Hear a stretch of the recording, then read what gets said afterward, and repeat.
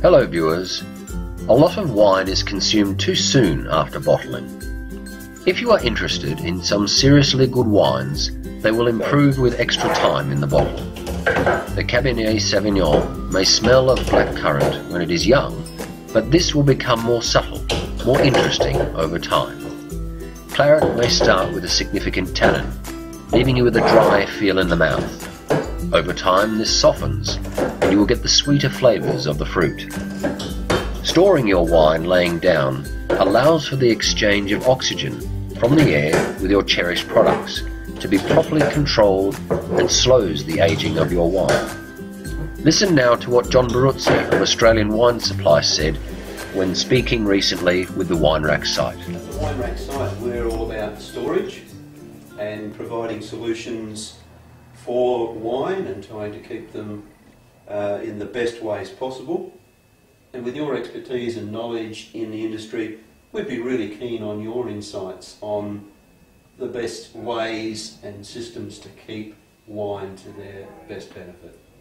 Yes, well, it's very important that um, you know once you've made the investment wine, not to treat it as if um, it'll last forever, uh, not to treat it as if it, it, can be stored anywhere under all sorts of conditions, uh, high temperature, low temperature, uh, warm areas, near an oven, near a window where there's bright light coming in. Yeah. So you don't want fluctuations of temperature. That's not good. An ideal selling area is somewhere where it's 15, 16 degrees uh, centigrade. It's, it's stable, not that it's up and it's down.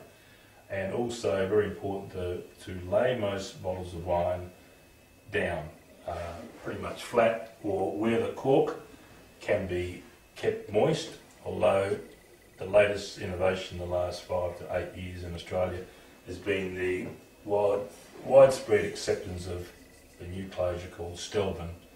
Um, so you still have to lay these wines down anyway, just to keep the wine um, right up to the cap, because under the cap there's a polyethylene cap, and uh, all bottling lines nowadays put a blast of inert gas nitrogen these days to keep oxygen out.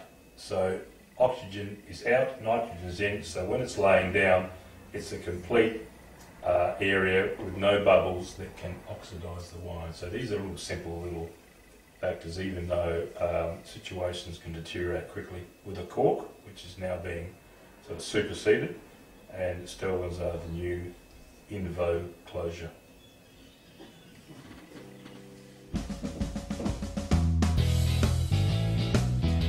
So, for the best storage of your treasured wine collection, check out the wine racks available on the Wine Rack site.